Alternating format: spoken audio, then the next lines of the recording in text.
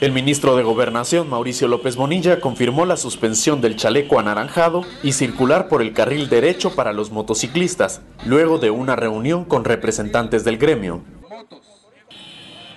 Más temprano, centenares de motociclistas protestaron en distintos puntos de la ciudad contra esas modificaciones al reglamento de tránsito.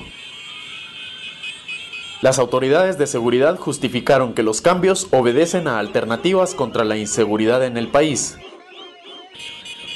El recorrido inició en el obelisco en la zona 13 y continuó hacia el Congreso de la República, el Palacio de Justicia y terminó en el Club de Oficiales de la PNC en la zona 6 para dialogar con el ministro.